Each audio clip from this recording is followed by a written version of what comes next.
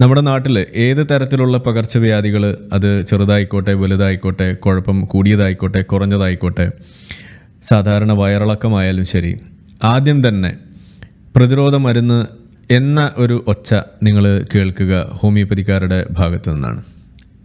ഈ തവണ നിപ്പ വൈറസിന്റെ കാര്യം വന്നപ്പോഴും വീണ്ടും നമുക്കവിടെ അത് കാണാൻ സാധിക്കുന്നു. നിപ്പയ്ക്ക് കൃത്യമായ പ്രതിരോധ മരുന്ന് ഹോമിയോപ്പതിയിൽ ലഭ്യമാണ് എന്ന് പറഞ്ഞുകൊണ്ടുള്ള തള്ളിമറിക്കലുകൾ തുടങ്ങിയിട്ടുണ്ട്. അത് തുടങ്ങി വെക്കുകയും അതെന്തുകൊണ്ട് കൊടുക്കുന്നില്ല എന്ന വലിയ നിലവിളിയൊക്കെ ആയിട്ട് നടക്കുന്ന ഹോമിയോപ്പതിക്കാർക്ക് വേണ്ടിയിട്ട് ആദ്യത്തെ രണ്ട് മിനിറ്റ് ഞാൻ മാറ്റി വെക്കുകയാണ്. അവരോടൊരു ചോദ്യമാണ് എനിക്ക് വെക്കാനുള്ളത്. അതോടൊപ്പം ഒരു അഭ്യർത്ഥനയും.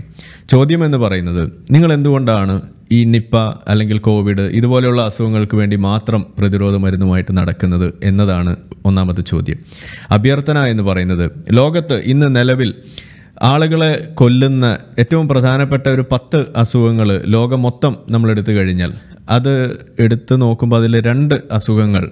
അത് പകർച്ചവ്യാധികളാണ്. ഒന്ന് ട്യൂബർക്കുലോസിസ് രണ്ട് മലേറിയ ഈ രണ്ട് അസുഖങ്ങൾ എന്ന് പറയുന്നത് വളരെയധികം മനുഷ്യനോളം തന്നെ പഴക്കമുണ്ടെന്ന് നമുക്ക് വേണമെങ്കിൽ പറയാം. നമ്മളുടെ അറിയപ്പെടുന്ന ചരിത്രം.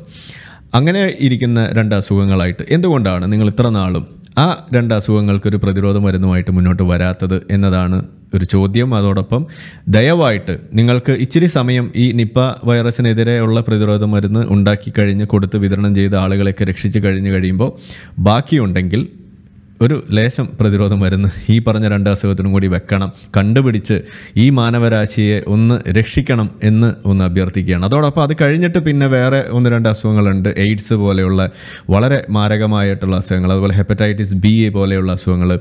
അങ്ങനെ മനുഷ്യരാശിയെ നിരന്തരം വലിയ തോതിൽ ബുദ്ധിമുട്ടിച്ചുകൊണ്ടിരിക്കുന്ന മറ്റ് ചില അസുഖങ്ങളും ഉള്ളത് നിങ്ങൾ നിങ്ങൾ ശ്രദ്ധയിലൊന്ന് പെടുത്തുകയാണ്. നിങ്ങൾ ഈ നിപ്പയ്ക്കും കോവിഡിന്റെയൊക്കെ പിന്നിൽ ഓടുന്നതുകൊണ്ടാകണം നിങ്ങളുടെ ശ്രദ്ധയിലേക്ക് ഇത് വരാത്തത്.